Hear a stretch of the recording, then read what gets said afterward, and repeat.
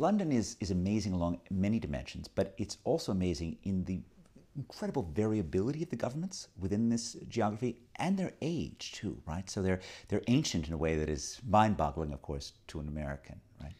That's absolutely right. I mean, if we go all the way back to the original unit of London government, which is the City of London. People all over the world will have heard of the City of London. Square mile, right? The square mile, which they'll associate often with financial and business services, rightly. But it's also an ancient unit of government, originally given a charter by King William I when he came to conquer England from Normandy back in 1066. So it has an unusually long history, and in fact, you can go back beyond that to the Romans, but this, this is modern history right. by British standards.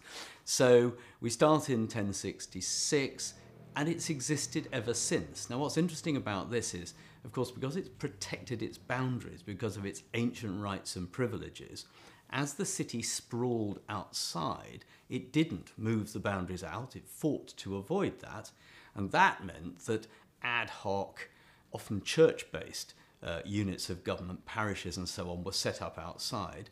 And over time, those were regularised into units, then bigger units, then bigger units, and from time to time, Parliament, when it thought infrastructure was needed, would clamp a city government on top of all of that. And that's why, even today, you've got a rather strong and fragmented second tier and a relatively weak upper tier. So we have William the Conqueror uh, giving these rights to the City of London who was there and why were they asking for rights and why was he giving them to them? Well, the City of London pre existed William the Conqueror, and what you'd got was really a collection of merchants inside the city, a very, very powerful mercantile culture uh, whose um, history is visible in the city today. And those groups of merchants, often in companies, generally actually in companies, had a form of democ- relatively democratic government by the time. And when uh, William the Conqueror arrived, the Normans took over Saxon England, he realised that the City of London was potentially a place to tax. Mm-hmm. And there was a deal to be done between the arriving monarch and the City of London and its uh, trades guilds.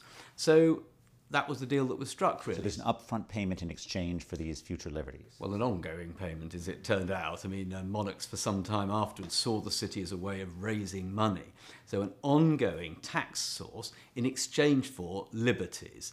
And of course, intriguingly, uh, William sited the Tower of London, which is not in the city, it's just on the edge, to keep an eye on the city. And equally, if you look at the city today, there are aspects of it which are slightly detached from not just London, not just the rest of London, but Britain. So, for example, the police in London, a separate police force in the city of London, I should say, have um, helmets on their heads that don't have the royal insignia on them, very unusual by British police standards.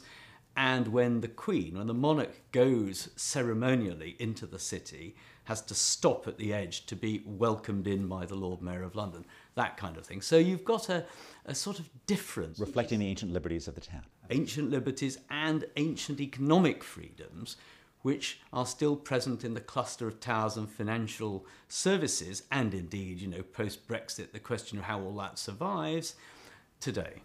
So, um, there are these companies of merchants and they get a quasi-democratic form of government, meaning there are there's voting certainly, but it's almost more like the voting of a modern corporation than it is the voting of a modern town, right? In that it's not one man, one vote by any by any means, right? It, and it's still not, right? Uh, no, it, it, it wasn't one one man, one person, one man. Then I'm sure one one person, one vote, and it it was based on these powerful companies and guilds having a, a vote in the city's government, the city's finances, and eventually after the 13th century, the Lord Mayor of London. Vastly more democratic than the world in, in, its, in its time. Indeed so, and quite progressive in its way. It was a trading place, so used to people coming in and out.